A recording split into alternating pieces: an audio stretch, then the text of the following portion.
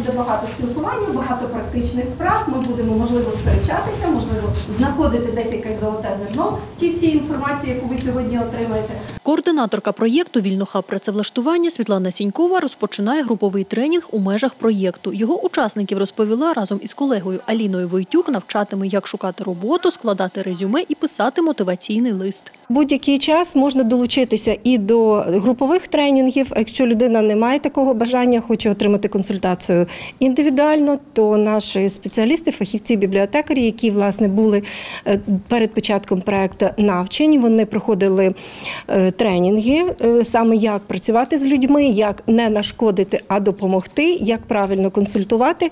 І вони консультують всіх, хто забажає. Тренерка проєкту Аліна Войтюк говорить, як працює з учасниками тренінгу. Перш за все, ми стараємося, щоб це була не лекція, не просто виклад матеріалу тренера е, без взаємодії студентів, ну або молоді, або учасників тренінгу, неважливо якого це будуть люди віку. Має бути перш за все взаємодія і практичні завдання. Раз, два, три. Гру почали швидко, швидко, час обмежений. Основи працевлаштування на тренінгу вивчали 10 першокурсників Хмельницького професійного ліцею електроніки, розповів майстер виробничого навчання Андрій Лещук. Хлопці навчаються на професію електромеханіка з ремонту та обслуговування лічильно-обчислюваних машин.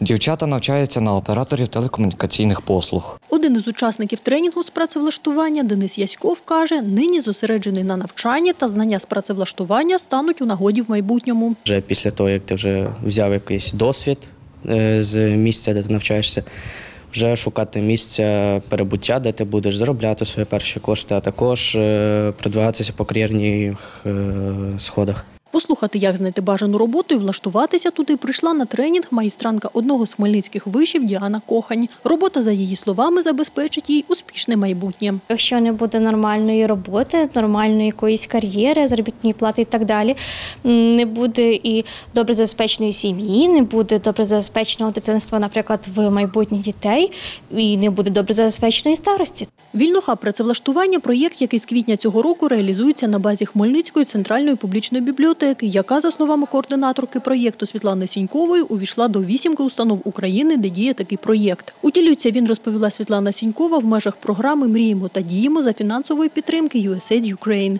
Його слухачам у Хмельницькому, за словами координаторки, з моменту започаткування стали понад 70 жителів громади. Як людина представить себе роботодавцю, так він її сприйматиме, каже заступник директора обласного центру зайнятості, де також готують до працевлаштування Сергій Залузький. Озвучує формулу успіху у працевлаштуванні. В першу чергу роботодавець повинен зрозуміти, що людина хоче е, працювати на цьому підприємстві. Наступне, е, людина має доказати, що вона вміє працювати на цьому підприємстві і вона може працювати. Оця трійка хочу, можу і потрібно, вона працює завжди. Проєкт «Вільноха працевлаштування», за словами його координаторки Світлани Сінькової, триватиме у Хмельницькому до жовтня цього року. За потреби, каже, його готові продовжити. Ярослава Антошевська, Олександр Горішевський, Іван Мовчан, Суспільне новини, Хмельницький.